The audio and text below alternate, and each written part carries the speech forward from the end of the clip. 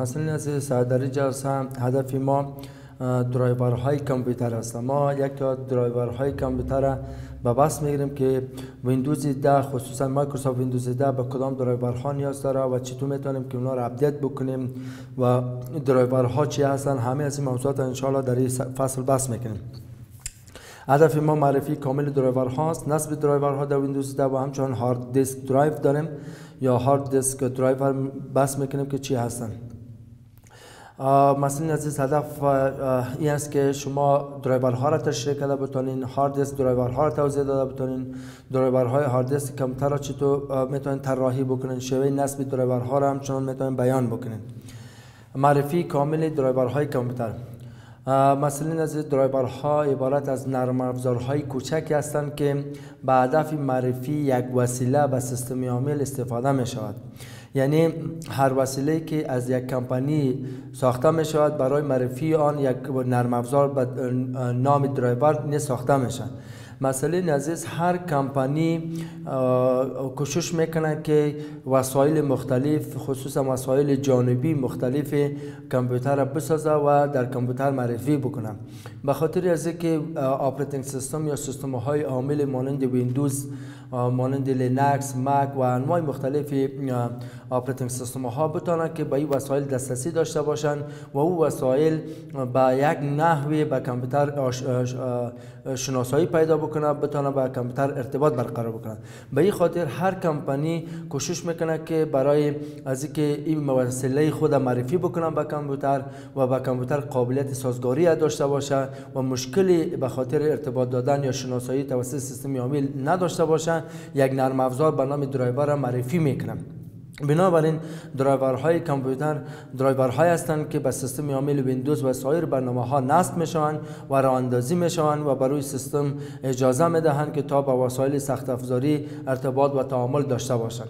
درایورها هم هم گاهی بنابر دلایل متنوع و مختلف مثلا سایر برنامه های رشده برای کمپیوترها شامل بروزرسانی می‌تونن باشند به این معنا که بعضی اوقات درایورها وقتی که به وسایل مختلف ما با کامپیوتر معرفی می‌کنیم اینا درایورهایشان که یک مدت زمان میگذره باز اینا نیاز می داشته باشن که update شوند بروزرسانی شوند تا اینکه مورد استفاده قرار بگیرن. این بر رسانی های درایورها منجر به افزودن برخی قابلیت ها و ویژگی های جدید در سیستم یا در سیستم عامل یا ویندوز می‌تونه باشند چطور می‌تونیم که ها را نصب بکنیم در ویندوز 10 به خاطر از که ما در ویندوز 10 ها را نصب بکنیم یا که بتونیم که برای بکنیم. نیاز داریم که در ویندوز 10 ما یک موضوع داریم به نام device manager. در قسمت device manager می‌تونیم که ما تمام وسایلی که در این کامپیوتر وصل هستن بالای هر کدام ازی کلیک بکنیم و نوع درایور ازی را مشاهده می‌کنیم. به خاطر از که بتونیم update بکنیم یا اینکه نصب بکنیم ما می‌تونیم که بالای از همون وسیله که نصب هست کلیک می‌کنیم right click می‌کنیم. باز می‌تونیم درایورش نصب بکنیم یا 이렇게 업데이트 보크는 خب مثلا عزیز به خاطر از که ما کار انجام بدیم و همچنان یکی از موضوع های مراحل نصب درایورها از طریق برازرسانی هستن. وقتی که کامپیوتر با مشکلات مواجه میشه در اولین گام باید باید ای باشه که ما درایورهای قطعه سخت افزاری را بعد بررسی بکنیم. چون اکثریت مشکلات از طریق از طریق ناسازگاری یا مشکلات درایورها یا وسایل جانبی کامپیوتر می‌تونه باشه بنابراین به خاطر از اینکه بتونیم خوبتر درک بکنیم که واقعا مشکل در کجا هست اول نخستین موضوع را که باید در نظر می‌گیریم باید بررسی بکنیم که آیا واقعا درایورهای سخت افزاری که در کامپیوتر نیازه هست آیا موجود است یا نیست آیا واقعا مشکلی به وجود نیامده اون باید در نظر بدیم بنابراین وقتی که اگر مشکلی به وجود داشته باشه موجود باشه باید بروز رسانی بکنیم. یعنی بروز رسانی درایورهای کامپیوتر به طرز چشمگیری منجر به عملکرد سریعتری کامپیوتر میشن انجام شود. بروز رسانی در قدم اول برخی مشکلات قبلی که موجود در ویندوز است اینها را برطرف می سازد سپس ممکن است که بعض قابلیت های جدید و feature های جدید همچنان خوبی های جدید را که به درایور های کامپیوتر که جدید هستند به اینا می‌تونه افزود بکنم و قابلیت کمپیوتر بیشتر بسازم. بنابراین تا زمانی که تا زمانی که این استفاده از کامپیوتر با مشکل مواجه نشویم نیاز ضروری به بروز رسانی ها کامپیوتر نمی باشه بنابراین نمی‌تونیم که نمی‌تونیم که بروز رسانی update بکنیم. البته بعضی اوقات اگر ما تمایل داشته باشیم که قابلیت های کمتر بیشتر شود و سخت افزاری ما قابلیت سازگاریش بیشتر شود و سرعت سرعت کمتر ما خوبتر شود و همچنان های دستگاه ما خوبتر عمل کرد داشته باشه می‌تونیم که بر روز رسانی بکنیم. یکی از بیشترین هایی که همواره افراد علاقمند آن هستند معمولا توسط از او می‌تونن که بازی های کمتری استفاده بکنن کار بکنن ویدیوها را play بکنن از همو بروز رسانی های کارت گرافیک است که خیلی مهم است که ما معمولا اگر مشکل در قسمت مشکل بازی کردن game ها در قسمت play کردن ویدیو ها داشته باشیم یا در قسمت display کردن محتوای کامپیوتر خود در screen داشته باشیم می‌تونیم که از کارت گرافیک استفاده بکنیم و درایور از او را بروز رسانی update بکنیم. خب و همچنان درایورها کدام درایورها ضرورت به بروزرسانی دارند معمولا کوشش کنیم که سعی کنیم که درایورهای کارت گرافیک داخل دستگاه خود بروزرسانی بکنیم. این کار از طریق سایت رسمی شرکت سازنده ای که سافیر بخشن سخت افزار می‌سازن می‌تونن که انجام شوند و همچنان بعضی سایر درایورهای کامپیوتر می‌تونن که update شوند اما یکی از موضوعات اساسی عزیز که وقتی که شما کامپیوتر install می‌کنین نصب می‌کنین بعضی درایورها توسط ویندوز نصب میشن.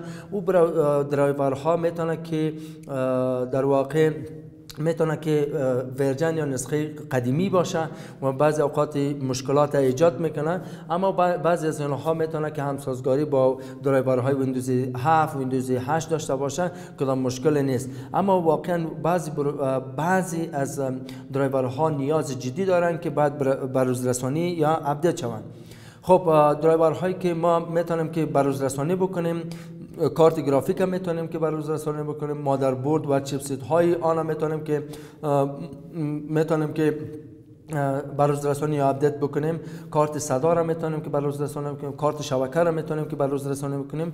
به خاطر از که بتونیم که بروز رسانی بکنیم می‌تونیم که در update security بریم. در قسمت ویندوز update وقتی که update میگیم اکثریت درایورهایی که موجود است و مانند کارت گرافیک بود و chipset های آن کارت صدا کارت شبکه اونا را می‌تونیم که install بکنیم.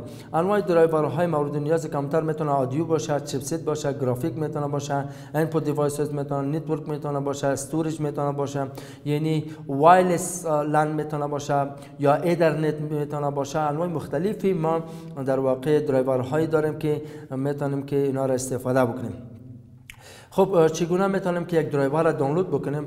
معمولا درایورها را می‌تونیم در بخش در بخش پشتیبانی وبسایت کارخانه کارخانه هایی که سازنده کمتر هست پیدا کرد. یکی از موضوعات اساسی است که مسئله نزدیک که ما از طریق دانلود کردن می‌تونیم که درایورها را می‌تونیم که دانلود بکنیم. هر هر وسیله یا هر سخت افزار یک درایور خاص استفاده می‌کنه و هر وسیله توسط یک کمپانی خاص ساخته شده.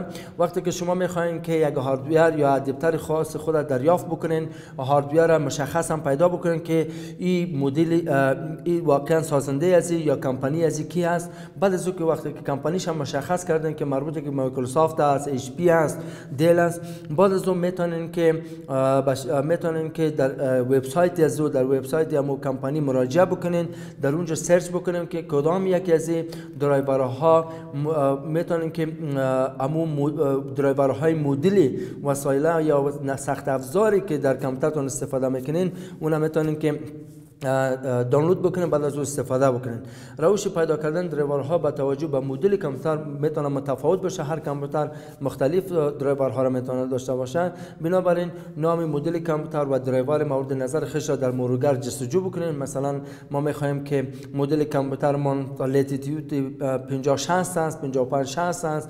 بعد از درایور که استفاده می‌کنیم مدل از را مشخص بکنیم. بعد از جستجو می‌کنیم.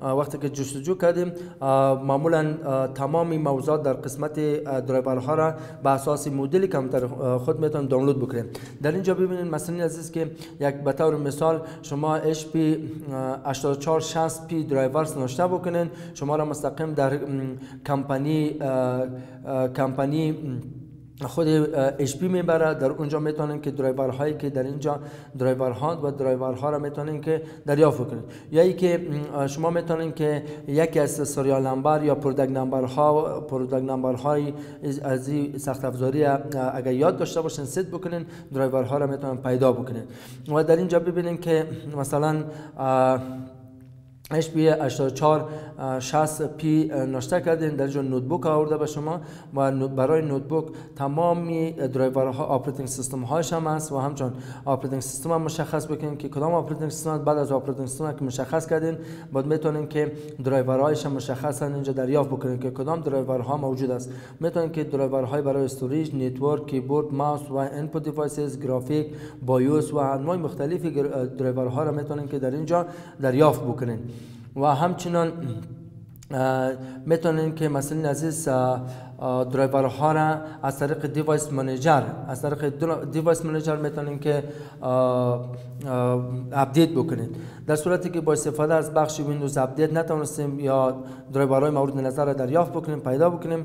یکی از کارهای دیگری که ای است ای است که ما در قسمت device manager میریم و هر وسیله را در اونجا پیدا می‌کنیم و هر وسیله دارای درایور می باشه در update driver software میگیم. در این قسمت update driver software وقتی که update میگیم اگر نیاز باشه کدام درایوری که قابلیت سازگاری داشته باشه با ما شما در اینترنت باشیم update می‌کنه و اگر ما این اگر ما update driver software که وقتی که انتخاب می‌کنیم در اینجا ما با چندین موضوع دیگه می‌پردازیم که در این قسمت وقتی که update می‌گیرین یکی search automatically است search automatically به این معنی است که اینترنت search می‌کنه تمام folder ها را search می‌کنه بعد از اون می‌تونه که پیدا بکنه با ما دریافت بکنه. اما اگر بگیم که browse my computer for driver software اگر این option انتخاب بکنیم وقتی که این option انتخاب شد به این معنی است که ما در واقع امو هایی که هایی که در hardware داریم یا در یک آفیزه در یک موقعیت خاص می داشته باشیم می‌تونیم اونها را search بکنیم و بعد از اون بالای از اون میریم دریافتش می‌کنیم. بعد از طریق از اون می‌تونیم که اینا را در کامپیوتر خود دریافت بکنیم. OK می‌کنیم پس نکس میگیم پروسه installation یا نصب ها در وسایل ما شروع میشه. و روش دیگه عبارت از روش auto driver یا درایور خودکار است. auto driver بر علاوه که طریقه های که ذکر شد ما می‌تونیم درایور های کامپیوتر خود را از طریق سی دی هایی که به نام auto driver در بازار عرضه میشن ما می‌تونیم که درایور های خود نصب کنیم معمولا یک تا فروشنده های software ها و اپلیکیشن ها یک یک توسط سی دی دی وی دی یک مجموعه از ها و یک مجموعه از های سخت افزارهای کامپیوترها را به ما و شما write می‌کنن و اونم به شکل auto driver در نظر می‌گیرن. وقتی که ما شما میریم در بازار. اگر auto driver درخواست بکنیم یک مجموعه از ها را در یک سیدی یا دیویدی دریافت می‌کنیم. میایم سیدی یا دیویدی را در CD-ROM خود, خود insert می‌کنیم نصب می‌کنیم. بعد از اون می‌تونیم که از طریق از اون به های مورد نظر می‌تونیم که برسیم و تمامی از او هایی که نیاز باشه به ما می‌تونیم که از طریق از اون نصب و یک موضوع است که وقتی که auto driver را نصب می‌کنین تمام موضوعات نصب ها در داخل امو سیدی یا دیویدی موجود می uh, و طریقه دیگر طریقه استفاده از حالت troubleshoot compatibility است. وقتی که محصلین عزیز ما بخوایم که compatibility درایور مشخص بکنیم یا compatibility سخت افزار از طریق درایور مشخص بکنیم ما بالای همون درایور right click می‌کنیم بعد از troubleshoot compatibility را انتخاب می‌کنیم. در اینجا به ما شما یک تا option ها را میده که با استفاده از option ها ما می‌تونیم که مشخصا ببینیم که آیا واقعا compatibility موجود است یا نیست. و موضوع دیگه hard disk drive است. محصلین عزیز انشالله در جلسه بعدی سر از این موضوع بحث می‌کنیم. درس شما با اینجا به پایان می‌رسه خدا حافظ و ناصرتان.